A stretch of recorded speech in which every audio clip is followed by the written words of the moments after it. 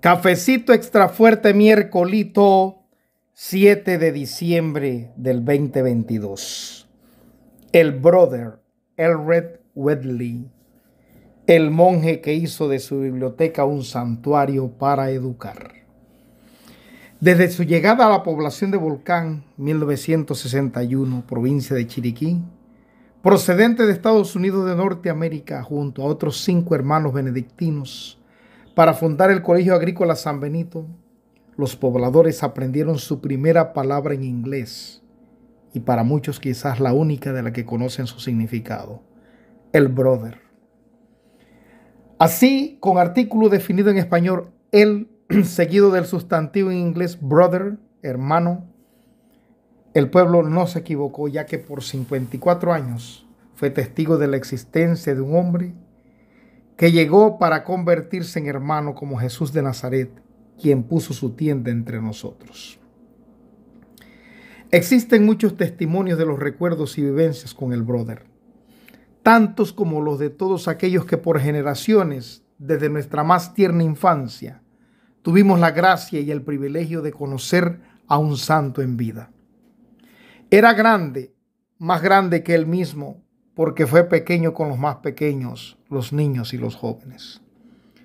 A él Dios le reveló el secreto para alcanzar el reino de los cielos, el cual pertenece a los pequeños. Él se hizo uno de ellos porque su vida entera fue acoger a los niños, no impidiendo que se acercaran a él como lo hizo Jesús. He meditado muy, mucho para tratar de describir a alguien de quien creo que no existen palabras humanas para lograrlo. Seres como el brother no se repiten en la historia y es imposible reemplazarlos. Solo se puede seguir su ejemplo y enseñanzas.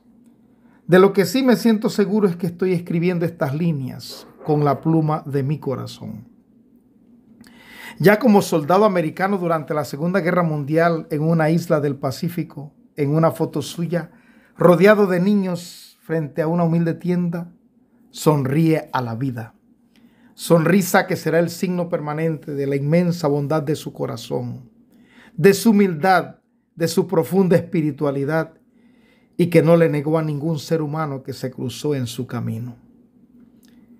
En medio de los horrores de esa conflagración mundial, ese alto y parecido, handsome soldado marca la ruta de una gran batalla que librará a favor de miles de niños y jóvenes, cambiando su vestimenta militar por un hábito de monje benedictino tan grande como fue él.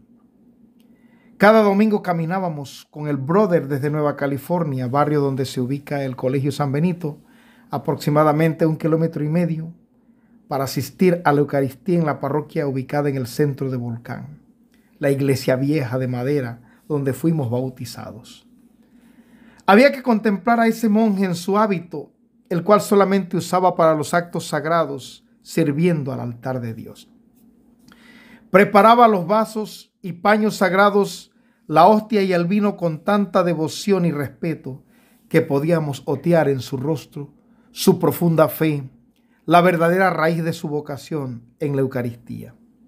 Verdaderamente era un monje contemplativo a la vez que activo, el cual hizo del lema de San Benito, ora en labora, reza y trabaja, su norma de vida. Reza y trabaja horas, días, semanas, meses, años, décadas.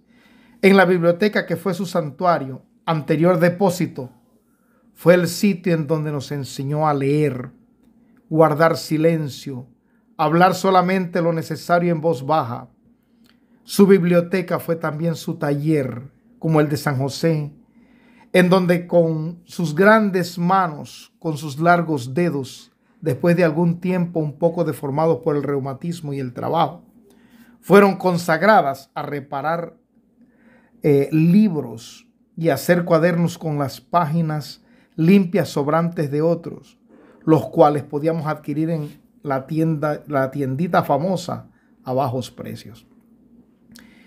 El brother permanecerá en nuestras memorias, mentes y corazones porque nos enseñó en inglés y en español que el trabajo dignifica al hombre.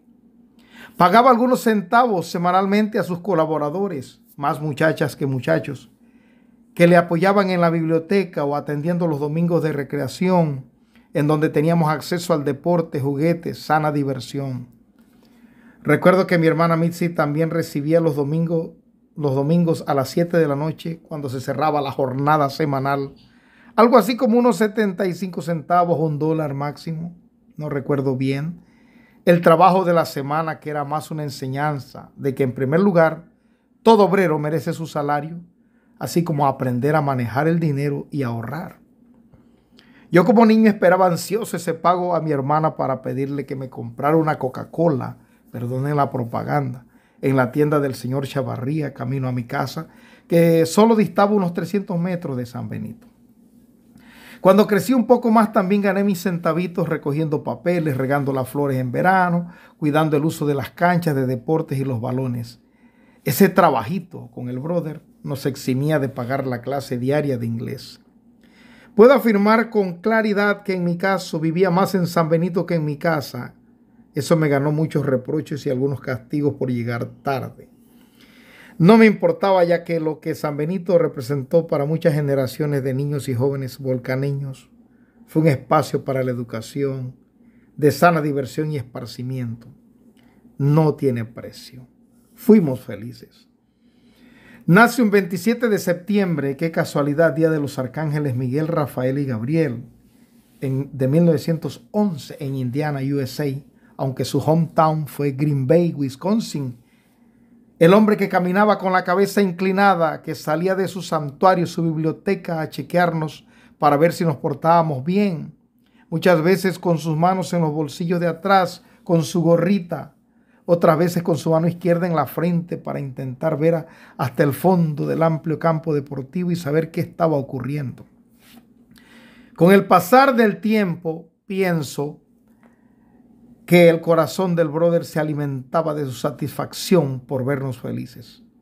No me cabe la menor duda que ese camino diario, que recorría varias veces entre su casa y la biblioteca, sus largos pasos pero pausados, acompañaron un itinerario interior lleno de bondad, de oración, de contemplación de Dios en la naturaleza y en nuestros rostros. Muy cerca de la casa de los hermanos benedictinos, hay una capilla de madera rodeada de cipreses que el brother sembró. Sigue siendo un testigo mudo de la disciplina y riqueza espiritual benedictina que él prolongó en el colegio San Benito hasta su muerte, ocurrido en 19 de julio de 2009. En esa capilla nos enseñó a rezar el rosario. Fue parte de una rutina que fecundó nuestra tierra. No me caben dudas que su intercesión por nosotros aún continúa allá en el cielo en donde recibe su recompensa. Yo celebré ya como sacerdote muchas misas en esa capillita. Cómo me gustaba entrar y celebrar allí, ya que la historia de la salvación también se escribió entre nosotros. Acompañé por más de 20 años con retiros espirituales y eucaristías a los estudiantes de San Benito varias veces al año. Como gratitud a mi alma mater y al sentirme en deuda con Dios, con el brother y también con la señora Mechi y el señor Phyllis, director del colegio. Don Phyllis me ayudó luego a continuar estudios agropecuarios en el Instituto Jesús Nazareno de Atalaya. Quisiera mencionar muchos nombres de jóvenes que formó el brother. Varios de ellos hoy residentes en Norteamérica, pero seguramente pecaré de omisión.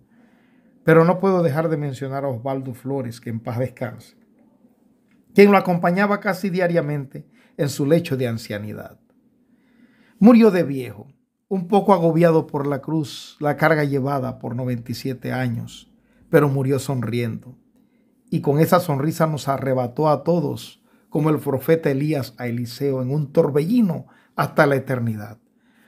Algunas veces que lo visité en su cuarto, que nunca conocí de niño ni de joven, al lado de su cama en una mesa había torres de revistas Reader's Digest con enormes letras y en ellas leía y releía el mundo casi sin salir de San Benito. Muy grande y pequeño fue su universo. Me uno a todos los que alientan la campaña de dedicar la calle central de Volcán en honor de su nombre, el Brother. Me uno a todos los que espiritualmente compartimos esa herencia divina de haber marcado nuestras vidas para siempre. See you tomorrow, brother. Una mañana, un mañana de esperanza que a todos nos espera. Sinceramente, Roberto González, cafecito espiritual. Perdón, cafecito eh, extra fuerte, miércolito.